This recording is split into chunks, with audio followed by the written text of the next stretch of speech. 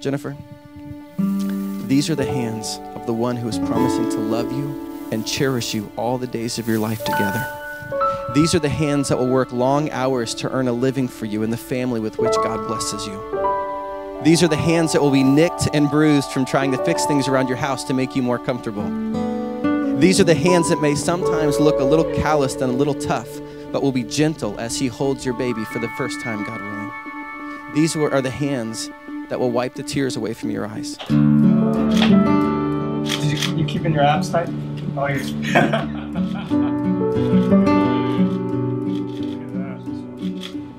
Thanks, man. See. Sancho, these are the hands of the one who is promising to love you and cherish you all the days of her life. These hands may be young and smooth now, but, but one day might be lined and rough because of the work inside and outside of the home as she seeks to make your family's life strong and healthy and fruitful. Sancho, the one whose hand you hold is to be your wife. May your life and may your love be a rock and an inspiration to her.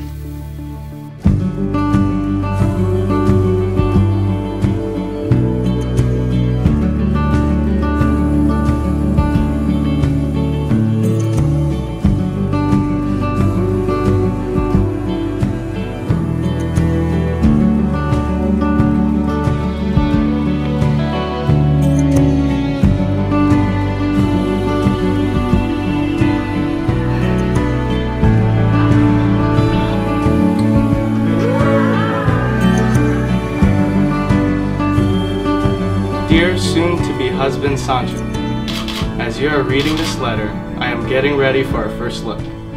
The day has finally come. The months, days, and moments leading up to our wedding day have been a roller coaster. We have our highest times and our low times, and I'm grateful to have you by my side and reminding me time and time again this is our day. Enjoy, be mindful as we join together as one. My love for you grows stronger each and every day. God bless me when He sent you in my life. Thank you for all you are and all that you do.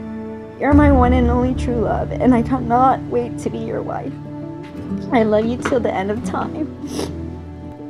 The engraved watch is a timepiece that symbolizes our new beginning as husband and wife. It will last a lifetime. See you at 2 p.m. I love you. that's awesome.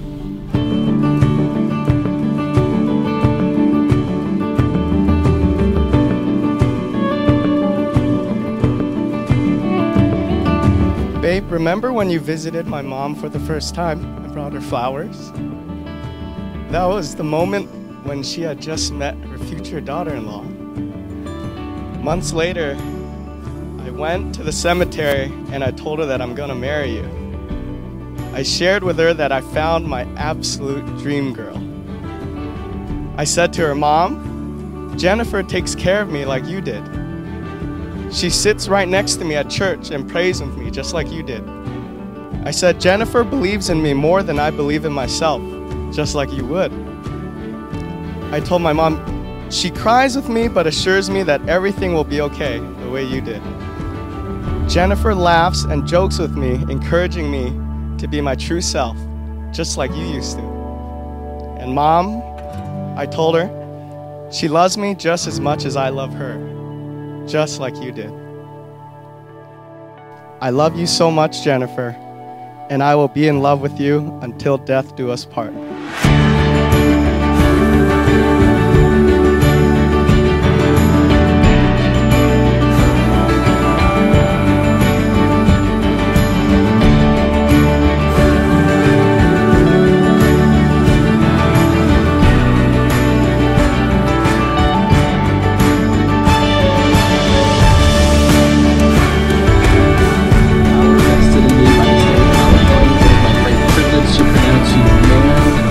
You kiss your bride.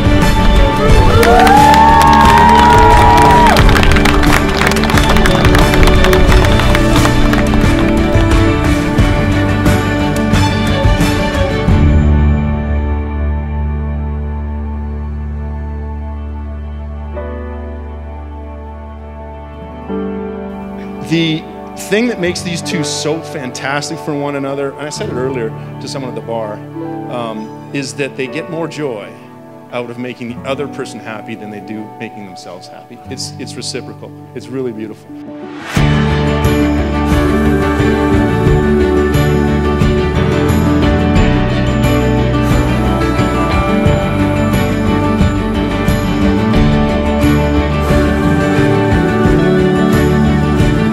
When you look at them, they are so in love. It's, they're each other's soulmate, or better yet, they're each other's soulmate. Right? I couldn't imagine anybody else for her. And Spoon is the right one.